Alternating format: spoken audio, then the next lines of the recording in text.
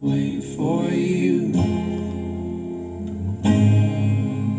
And I will